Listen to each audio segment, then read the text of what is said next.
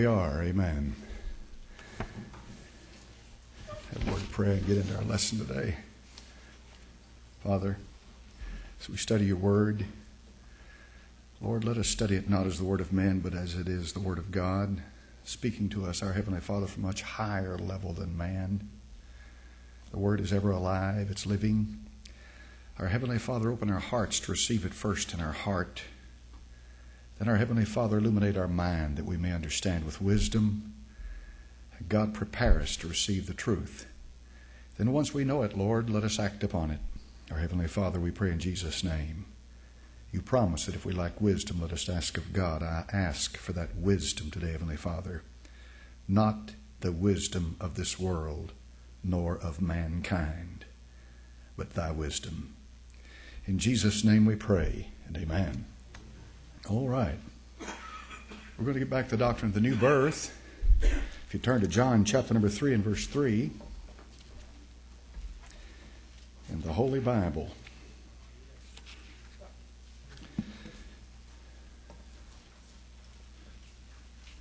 John 3 3, the scripture says, Jesus answered and said unto him, Verily, verily, I say unto thee, except a man be born again, he cannot see the kingdom of God. Now, I should notice two specific, definite things involved in this verse. Number one is the new birth, and number two, what it qualifies you for. It says that you can't even see the kingdom of God without the new birth. Now, the new birth is not the instrument of man. It's not man's ability to birth you or to born you or to have anything to do with the new birth. The new birth is of God. It is a spiritual birth. It is a supernatural birth. It defies all of the laws of mankind because it originates from God.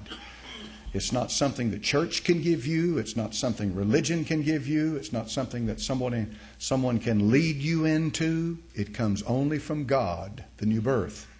The new birth is the gift of God. Uh, salvation has been offered all through the Bible, from the book of Genesis all the way through the book of Revelation. But the new birth is an entirely new thing. When Jesus Christ said that in John chapter number 3, he was saying to Nicodemus, something is about to drastically change in the order of God's relationship with man. And when he did that, uh, Nicodemus, of course, was completely taken aback. He had, didn't have a clue what he was talking about. As far as salvation is concerned, why, Nicodemus was a Pharisee. That was, his, that was his point in life. That's what he lived for. He lived for salvation. That's what it was about with him. But when the Lord Jesus Christ said, Nicodemus, you must be born again, he didn't have a clue what he was talking about.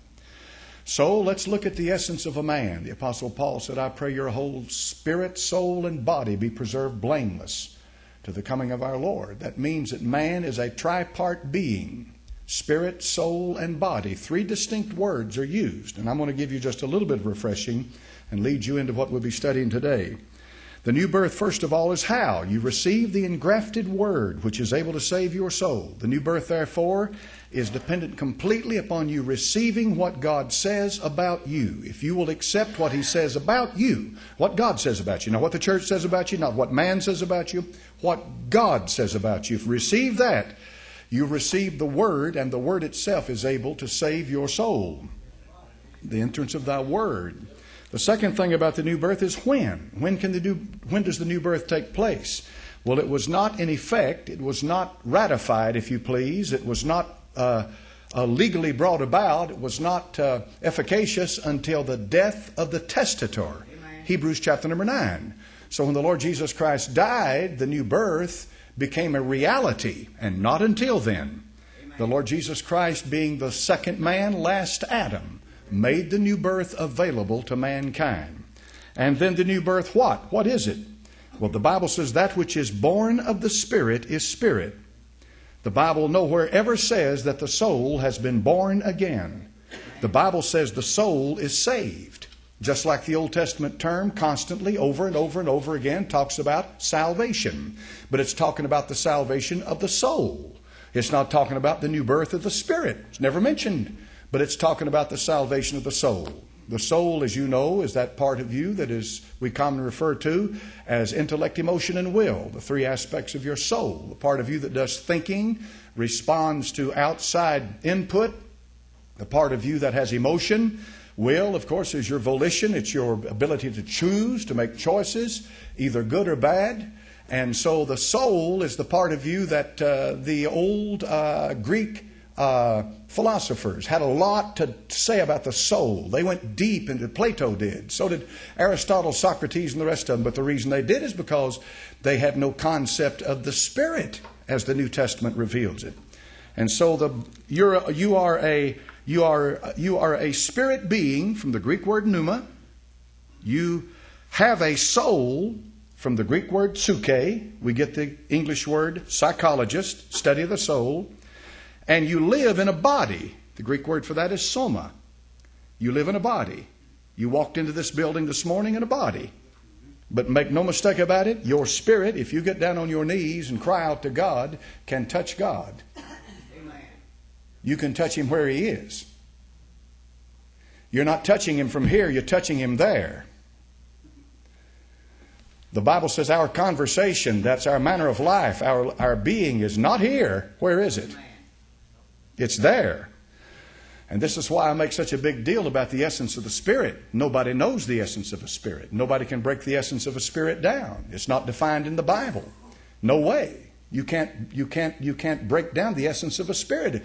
Therefore, since you cannot break down the essence of a spirit, you cannot determine when a spirit can be where, how it travels, all of the things associated with a spirit, you can't do it. All you can do is take what the Bible says about it. So your body is a vehicle that you walked into this building in this morning that you will live in. And the Apostle Peter says, The Lord hath showed me how that I must shortly lay down this tabernacle, this flesh. That's what he said. The Apostle Paul said, I have a desire to depart from this body and to be with the Lord, depart from the body. But Paul's still Paul. Once he departs from the body, he's still Paul. Amen. He's just not the body. He departs from it. And so to depart, to be absent from the flesh or from the body, is to be present with the Lord. Amen. All right. Now, this is not a, you know, this morning it's not all about body, soul, and spirit, but I wanted to bring that back in because that's very important to understand as it relates to the new birth. Understand, understand, understand. Body is. Body goes body goes ground. Earth, body goes ground. Ground to the dust from the dust came, came. Therefore, therefore, the natural, natural man what knows what he sees, hears, tastes, touch, smell, smell. He doesn't, he doesn't understand and the earth, all he, all he can do is all he, all he understands the body, physical part of part of you. He sees, he sees it go back, he sees, he sees, uh, uh, as it goes back to the dirt, dirt, he says, well, I'm saying? So the natural, the natural man can't receive that, can't he? Can't he? Because. The natural man has a soul, just like your soul, but his soul is not saved. The natural man's soul, he has intellect, emotion, and will, just like you do, but it's not saved. The natural man has a lost soul. Amen. But that Christian that is born again, and of course, you can't be a Christian without being born again. That's redundant if anything ever was. But if a Christian, born again, born again believer, your spirit is born literally of the life of God. And the unsaved man has no concept of that. He has no connection with that. The Bible says he's an enemy of God. He can't receive the things of the Spirit of God, foolishness to him, neither can he know them, for they're spiritually discerned. So you understand how that an unsaved world will only judge you by what you do? An unsaved world can only understand you by what you do. The words that come out of your mouth are meaningless if your life doesn't back it up. The unsaved man's criteria for judgment is simple what he sees, what he hears, what he touches, what he smells, the five senses. That's it, far as he goes, far as he'll ever go.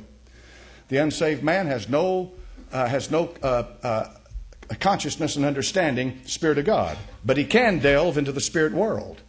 The unsaved man can reach across the barrier that God has put within every individual on the face of this earth and begin to mess around with spirits in the spirit world and get himself in big trouble. He can become demon possessed. He can, and he can call upon the powers of darkness and the powers of hell. First thing you know, he thinks he's in control, but he's nothing but a pawn. The one in control is Satan. And the Bible warns us if you're a Christian, you understand that. You know you have an enemy. And you wrestle not against flesh and blood.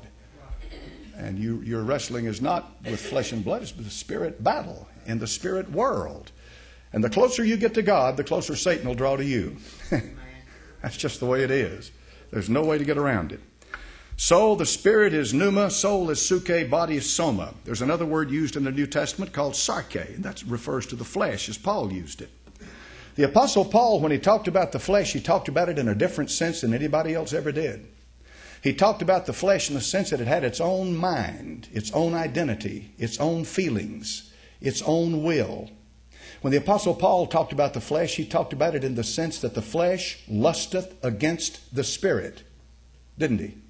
Well, now, how can this physical soma body that has no feeling, how can it lust against the spirit? In other words, the Apostle Paul, who's the only man who ever opened up the Bible about the new birth, apart from the Apostle Peter, who said, being born again, not of corruptible seed, but of the incorruptible, by the Word of God, which liveth and abideth forever. Here's the Apostle Paul opening up the idea that the flesh has identity. It has a think, it thinks. It has, it has, it has a spirit attached to it, the flesh. So therefore, the, he, the reason he said that is because a born again believer has two natures. Amen. He has the new nature and the old nature. And the unsaved man doesn't understand that. The only thing he knows is the old nature. And so when the believer enters into this relationship with the Lord and realizes that on one hand he is a new creature in Christ Jesus, but on the other hand, he knows that there's still an old spirit hanging with him, the old man. And so the, the Apostle Paul begins to teach you how to mortify the flesh, put to death the old man, and, have, and let the Spirit of God take control of your body. And the only way you can do it is through the Spirit. Amen. Asceticism won't do the job. You can lock yourself up in a building, lock yourself away from every temptation possible, but that will not make you spiritual. Won't do the job. The only way that you can overcome that old man, that old fleshly man, is by the Spirit. And the only way that can be done is by humility and being able to receive from God what God's willing to give us, every one of us. And the apostle said, Be not drunk with wine, where's an excess, but be filled with the Holy Spirit of God, to be filled with the Spirit. Walk in the Spirit. Pray in the Spirit. Live in the Spirit. For your battle is not in flesh, your battle is in spirit. You've got to be able to, to receive that, and you've got to learn, absolutely. And sometimes you, the only way to learn it is the hard way is that it takes the Spirit of God to overcome the old man. And, the, and there's no substitutes for it. So that's the new birth. Now, the Latin had a term called animalis, and I think you could see what that's associated with. What do we call these creatures out here walking around, some of them on four legs and some of them 30 legs and what have you? We call them animals, don't we? Why do we call them animals? Why don't we call them human? Well, of course, we've got a group today that makes no difference between a human being and a dog. That shows how smart we are, doesn't it? We've come a long way. Amen. But uh, think about it for a minute. Since the Bible said God made man in his own image, it said he, ma- it said he made man, not an animal. All right? Well, the word, the term animal that we use in English came directly from Latin. And that Latin term is animalis, and it refers to a being that has life in it, as far as it goes. A creature that has life in it. They call it an animal, you see. It's not necessarily a bad term, it's just a term referring to a creature that has life in it. But even the old Latin had enough sense to know that there was a difference between an animal and a human being. There's a difference, you see. He never refers to us as animals because there's a difference in us. Yes, sir. there's a difference. You're born with that difference. It's inbred. It's innate to your character. You're born with that. You know to kill a man is far different than to kill a dog. Amen. Far different. Even though now they're writing laws and putting them on the books where it makes no difference. Amen. You see how you see how crazy and insane a human being can become? Even when it becomes the law, does it make it right? No. That's why the Lord Jesus gave the greatest wisdom this world has ever had or ever will had, have. Render to Caesar that which is Caesar's and to God that which is God's. Stick with that and you'll be all right. Amen. And when, re- when Caesar reaches over and begins to pluck that which does not belong to him, remind Caesar that that's not Caesar's. Amen. And render to God that which is God's. And then, according to the apostle in Romans chapter number 13, be subject to the laws of the land and live peaceably among all, all men, whether you're living under a king or a parliament or a, or a dictatorship or you're living under a republic in a republic like this, or wherever you're living, abide by the laws of the land. And that's what that's why Christians have never been driven out of countries. Did you know that? But they've driven Muslims out and other religions. And the reason that Pakistan and, and, and India right now are just about to go to war is one simple reason. One simple reason. India is Hindu, Pakistan is Muslim. At one time, not too long ago, they were one country, but they could not live together. The Muslim cannot live with anybody. And so they, they, they created a country and called it Pakistan and filled it up with Muslims. And India, of course, is an old country. I mean, old. It's as old as China. The, the culture is as old as China. And uh, the Hindu's old. The Hindu religion far predates the Muslim. Far, far, by centuries, it predates the Muslim. The Muslim didn't show up until about 600 AD when uh, Muhammad, uh, in 100 years, overcame all of Europe, uh, all of, all of the Middle East, rather, not Europe. He, thank God he was stopped by Charles Martel at the Battle of Tours in Europe. He was stopped, thank God. But uh, he, overcame, he overcame the Middle East and, with, and by the edge of the sword, he rammed the Muslim faith down the throats of anybody if they didn't accept it, off with their head. That's the way they convert. That's quite a way of evangelism. Amen. Think about it. Go up and down Woodrow, you're going to be a Christian? Whack! Off the head, buddy. And that's the way. You think I'm kidding you? No, sir, friend. Your problem is you listen to CBS, NBC, and ABC, CNN, Fox, and the rest of them. You're listening too much to the controlled media of this country what I just gave you are facts. Facts. That's exactly how they evangelize. You convert or you die. And once they're in power, that's exactly the way they'll do it.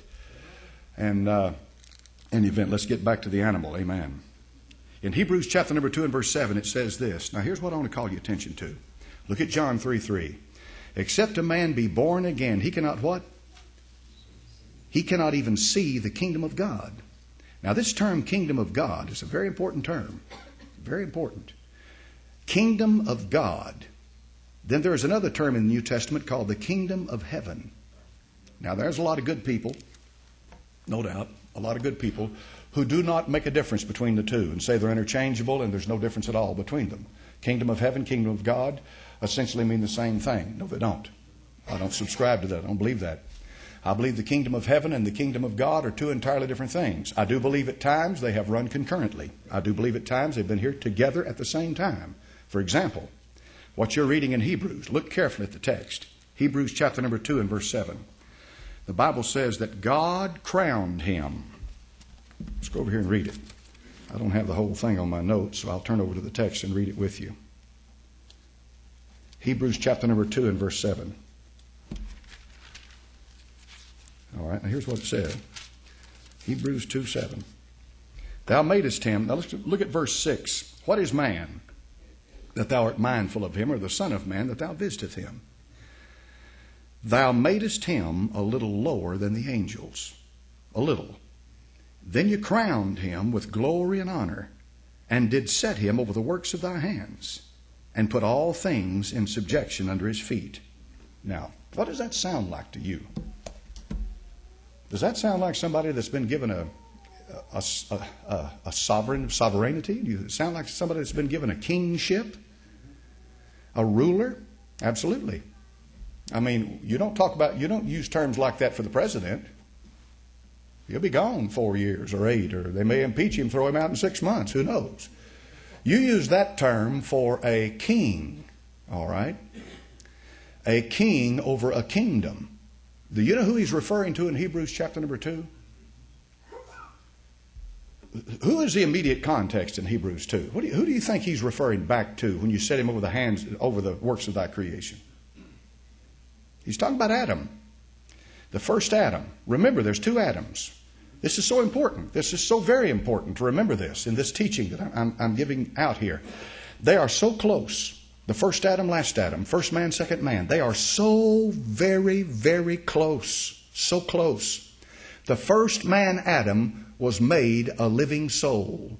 The last Adam is the Lord from heaven, okay, but they're both Adams, all right?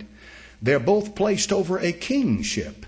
The first Adam was placed over the earth. The Lord said, He said, have dominion over the fish of the sea, the fowl of the air. Every place you put your foot, have dominion over it. That's your domain. Well, those are words for a king, a sovereign. So Adam was given a kingship. Now, he being an innocent being, he being a being that was not fallen, therefore was qualified to be the king over the kingdom of heaven that God had placed on this earth. But he was also qualified uniquely to be the king over the kingdom of God because God was his Lord and God had given him a spiritual authority over this earth. So the kingdom of heaven, physical, and the kingdom of God, spiritual, Adam had God joined together both in Adam. But what did Adam do? He sinned. And what happened to him when he sinned? That's what we went on about at length. What happened to him in his nature, his being, body, soul, and spirit? When Adam sinned, nothing changed about his body. He lived on for 930 years. And so what happened? His spirit died. And remember, we made a big deal about this from Solomon, the book of Ecclesiastes, when he talks about the spirit going back to God who gave it. He's talking about the breath of life. The gift of life goes back to God who gave it. All right? He says that the spirit of life goes back to God that gave it. The spirit of the animal goes where?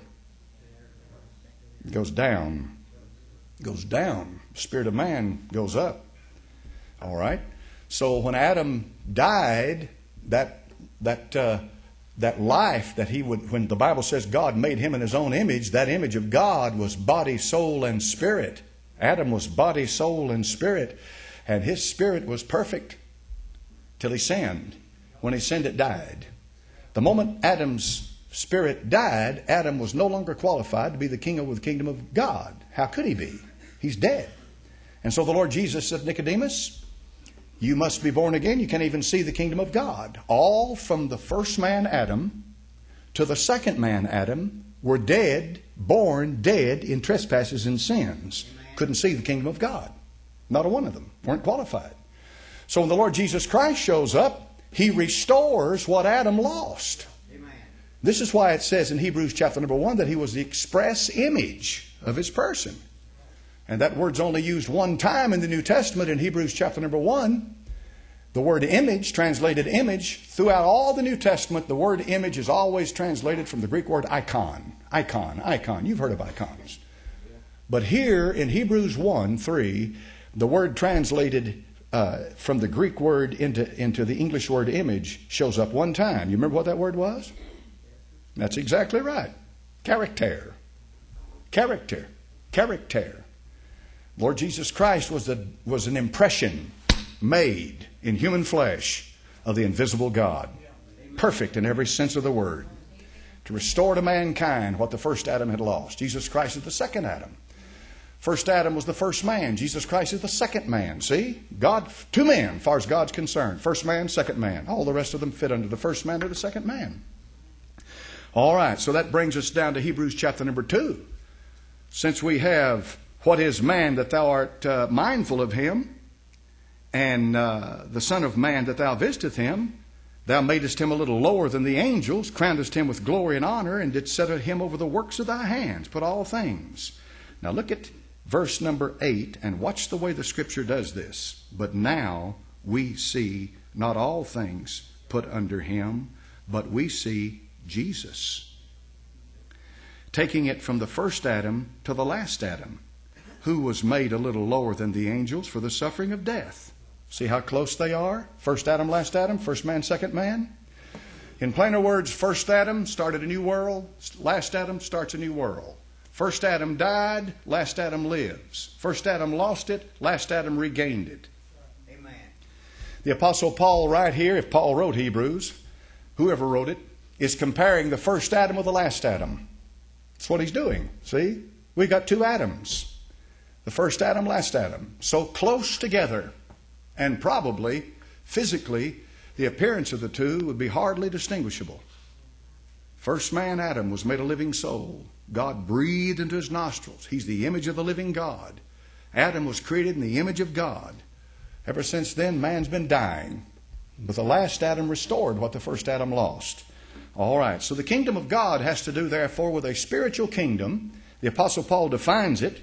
He tells you plainly in the Bible what the kingdom of God is. He says in 1 Corinthians 4:20, the kingdom of God is not in word, but in power. He said in Romans 14:17, the kingdom of God is not meat and drink, but righteousness and peace and joy in the Holy Ghost. And so the kingdom of God and the kingdom of heaven are very important. And we're not going to study all that today because I want to take you further. I want to show you something that's going on right now. Now, you live on the earth. the Bible says if you're unsaved, you're an earth dweller. You're an earth dweller. If you're saved, you're a pilgrim and stranger. You're, you're, you're an alien. You're a foreigner. The moment you were born again, you lost your uh, uh, citizenship to the earth. Sorry. That's just the way it is. You're no longer a citizen of the earth, you're a citizen of heaven. So you're, a, you're you, you, therefore, being a citizen of a foreign country, the apostle said in 2 Corinthians 5, we are ambassadors for Christ. See? The moment that that happened to you and that you're born again and your citizenship is in heaven, then we are representing a foreign country in the midst of a place where we were born naturally. But we are no longer natural. The Bible says we no longer know Him after the flesh. We're spirit beings. And so, therefore, we represent a foreign power, a foreign government, and a foreign country. We are ambassadors. We are ambassadors for Christ. That's what we are. That's our ministry. That's the ministry of a Christian. I represent somebody much higher than this earth. Amen. But the earth is the uh, is the dwelling place of. Um, it belongs to Satan. Here's what it says in Luke 4, verse 5. The devil taking him up into an high mountain, showed him all the kingdoms of the world in a moment of time. How in the world he did that amazes me. But Satan did it. And he did it in a moment of time. You know what that means? You can see that one of two ways. Either he showed him all of the current kingdoms of the world in a moment of time, or he showed him all of the kingdoms of the world from Adam to the coming of Christ in a moment of time. Either way would fit the text. But the Bible says he showed them kingdoms of the world. A moment time, the devil said to him, All this power will I give to thee, and the glory of them. Now listen to this. For that is delivered unto me, and to whomsoever I will, I give it. Jesus Christ did not rebuke him. In other words, he didn't say, You're a liar. He didn't say, You're a liar. In other words, it's not an idle boast. What he said was true. And he does still have the kingdoms of this world. The kingdoms of this world will not become the kingdoms of our Lord and His Christ till Revelation 11:15, when it says, "The kingdoms of this world have become the kingdoms of our Lord and His Christ." This is why I'm premillennial, because the church is not reigning over this earth now. God is not reigning over this earth now. At Christmas time, every year, the news media pounces on the word peace and talks as if the Bible has failed to bring peace to the earth. Jesus Christ said, I came to bring a sword. There will be no peace till the Prince of Peace is accepted in righteousness, and he will reign in righteousness. Amen. Amen. They rejected him, and when they rejected him, they rejected his peace. So he went back to heaven and says, My peace I give unto you, not as the world giveth, give I unto you, but my peace I give to you. ABC, CBS, and NBC will never get that right. They won't get it right because they won't, they won't believe the Apostle Paul. You watch the news media quote the Bible, and 99 times out of 100, they'll quote Matthew, Mark, Luke, or John. They will not quote Paul. They'll, they won't quote him. And the reason they won't is because the Apostle Paul carried on into the church age is where we are right now. Just check them out. They won't do it. So the kingdoms of this world become the kingdoms of our Lord and His Christ. And when does that happen? Revelation 11:15. Where are we now? We're 2,000 years into the church age. Regardless of what happens a month from now, you are living in an unprecedented time. You are. I, hope you know that. In 1929, the stock market crashed. What happened back in 1929 has parallels today. But so much more is happening today than happened in 1929. You are living in unprecedented times. You're living in a time which may very well bring in the second coming of the Lord. It may do it. Now, we know that the kingdoms of this world right now are controlled by the power of hell. We know that. We know that uh, we wrestle not against uh, spiritual, uh, uh against flesh and blood, but against principalities, power, spiritual wickedness in high places, so forth. Our battle is not with humankind. Our battle is with the spirit beings controlling this world.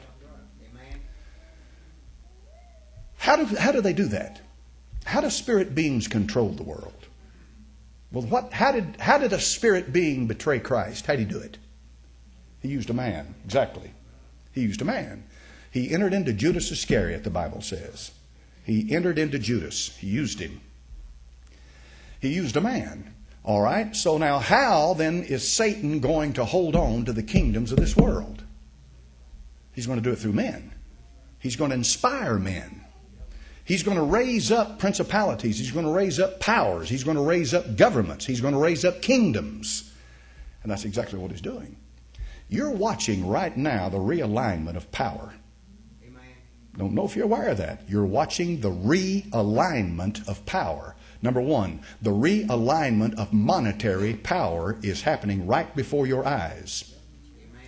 He that controls the purse strings controls the world. And all you have to do is observe what comes out of this, and you'll see what's going on. I don't know if I subscribe completely to the idea that all of this economic mess was was was. Uh, I know I don't. This I knew. I, I, I do not blame the Republicans for all this mess we're in. Not for a minute. I hope you don't. I hope you're not that dumb. The Democrats had their part too. Make no mistake about it. It came from both sides of the aisle, but it, I believe it has far more to do than simply politicians. I believe the economic mess we're in today can't all be blamed on Washington. I believe some, I believe some forces are in play right now that's bringing about what's happening. Now, how many of you heard of a man named Albert Pike? All right, if you haven't, uh, all you have to do is type his name into the internet and, and, Google Albert Pike, and you'll have, you'll have enough to read for the next 500 years. Plenty of material on Albert Pike. He was a Confederate general and he was a brilliant man. These two things are without dispute. He was brilliant, and he was a Confederate general. He was a graduate of Harvard. He was a lawyer. He was a lot of other things. He was also a grand, uh, uh, he was very high up in the Masonic Lodge. He wrote the Morals and Dogma of the Masonic Lodge. I have a copy of it. I've got two copies, matter of fact. I've got a copy at home and going through. What I'm trying to do with that copy is to see how he synthesizes all the religions of the world. All right, he did all of this. Now, let me say this right now. If you're a Mason, I'm not telling you that you're a Satanist, okay? And I'm not telling people that everybody that belongs to the, to the Masonic Lodge is going to hell. Don't believe that for a minute. Don't believe it for a minute. Fact of the matter is, probably some good Christian people and uh, who take the shirt off their back and give it to you and so forth. That's not the point.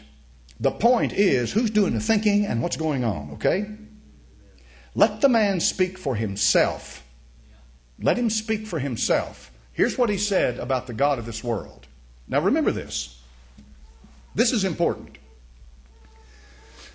When, Al, when, when Albert Pike made a statement, he made that statement because he had done the research, he'd compared the material, he had, he had, he had done exhaustive research into all of the religions of the world. He was a graduate of Harvard, so he knew how to do the job.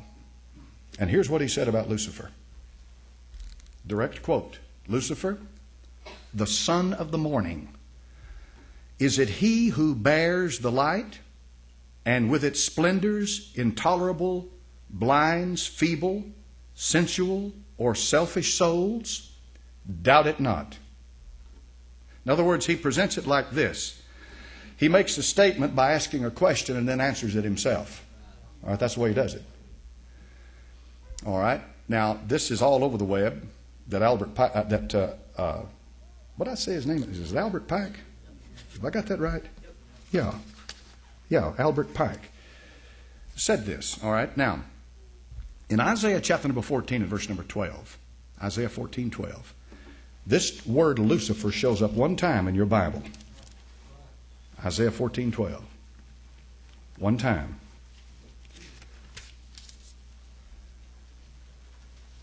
And here's what it says How art thou fallen from heaven, O Lucifer? That's a Latin word. Son of the morning, how art thou cut down to the ground, which didst weaken the nations? All right? In the immediate context, verse 4, he's talking to the king of Babylon. All right. But things are said about this creature that cannot apply to an earthly king. All right. The Hebrew word in this text is not Lucifer. See, like I said to you a moment ago, that's a Latin word. The Hebrew word, which the Old Testament was written in, is Halel. And that word means a bright and shining star or planet or object in the sky. All right? So, therefore, the Old Latin, because that's where this came from, which showed up in the first, second century after Christ, put the word Lucifer into the text as a translation because the Latin word Lucifer means light bearer or light, brilliant one or shining one. So, what we've got so far here now is this referring to the God of this world, he is a brilliant, light bearing, shining object. That, there's, there's no dispute about that. And how could a brilliant, shining object in the sky be the king of Babylon? It can't be. What God is doing is saying to the king of Babylon, This is what you think you are, but there's a being much greater than you are.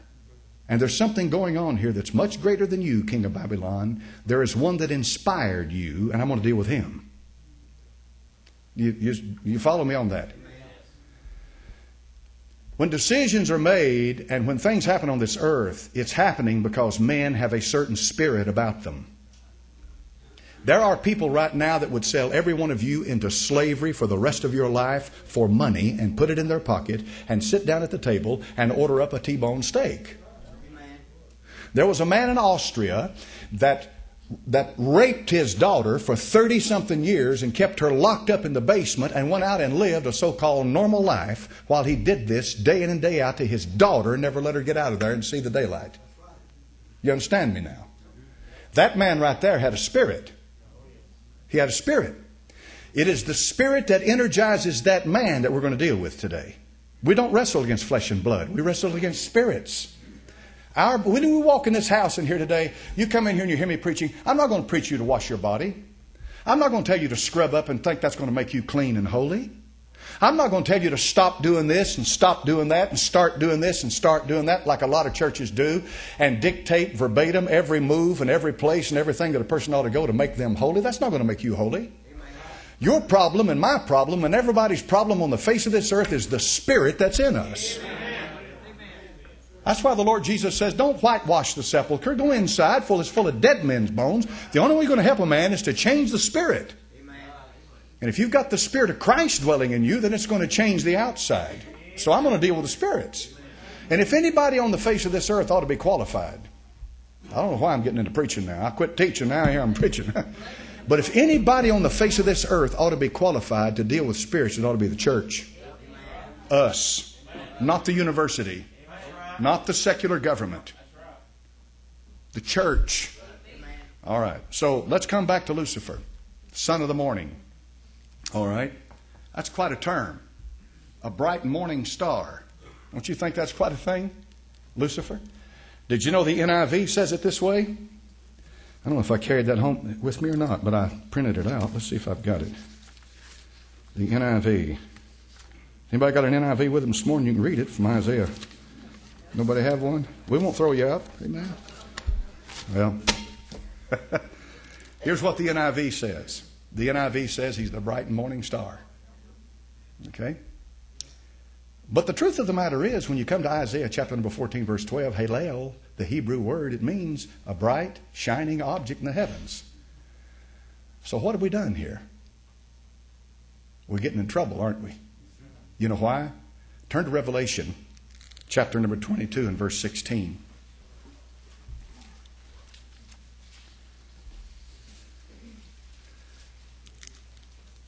Now, watch the way this thing works.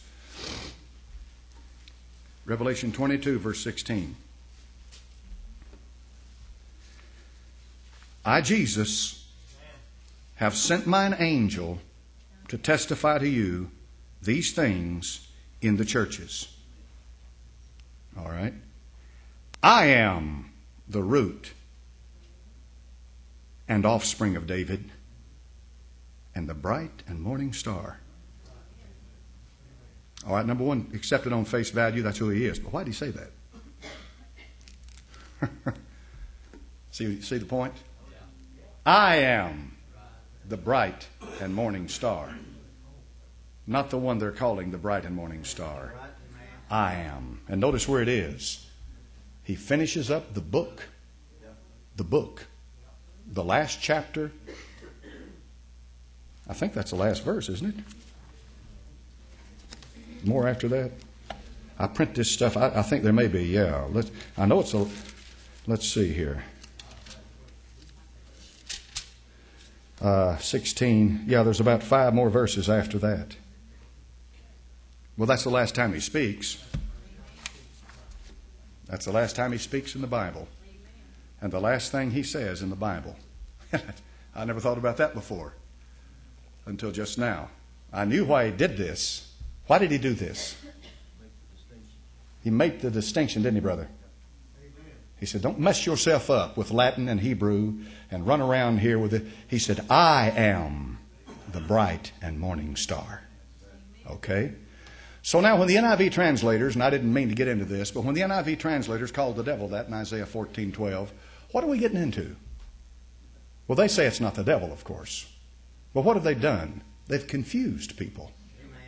What did the King James translators do when they allowed the Latin translation and they used it? They could have used other words.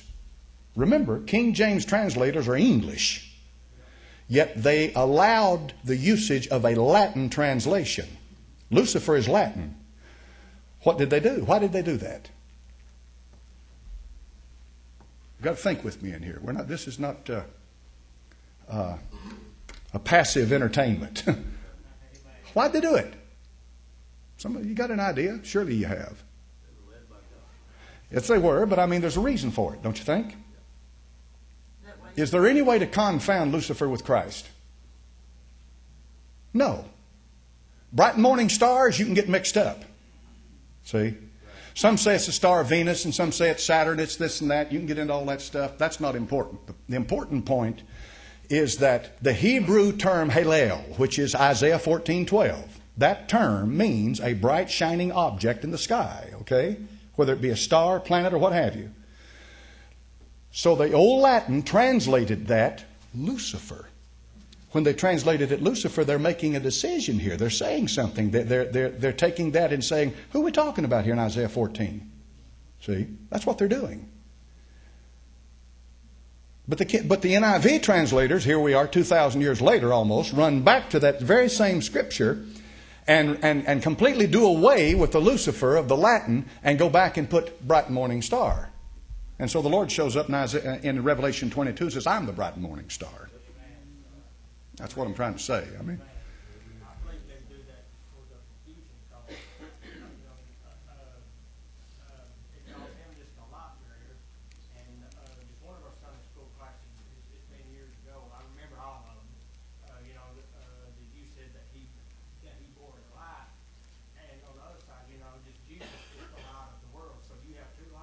bear light and the source of light. There's two different things, isn't there?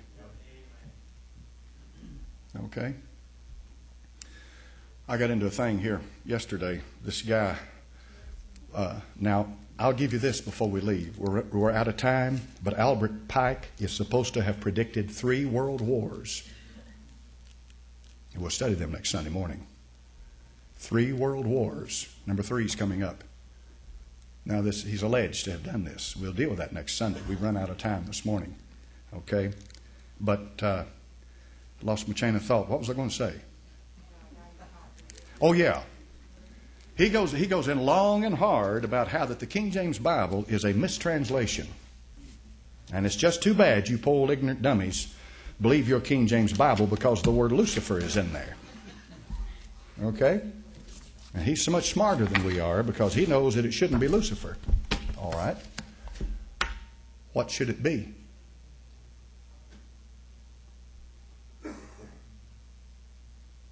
Go ahead, translate Halel for us. What are you going to put in there? Who's he talking about? What's going on in Isaiah 14 12? See what I mean? There's nothing wrong with using Latin especially the old Latin. That's before Jerome's Latin. Vulgate showed up about the fourth century. There's nothing wrong with that. That's no mistranslation. That's talking about the devil. How could it be a mistranslation? It shows me that even the Latin translators back in the first century after Christ had enough sense to know who the devil was. Amen. Amen. All right, next Sunday morning, Sunday school, we're going to talk about the three world wars that Albert Pike predicted. The reason we're going to talk about that is because it has to do with the kingdom of God on this earth and what you're born into when you're born again. Father, in Jesus' name, I pray that you'd use the study of your word. Bless your people. Be with us in the service to follow in a few minutes. In thy holy name I pray, and amen.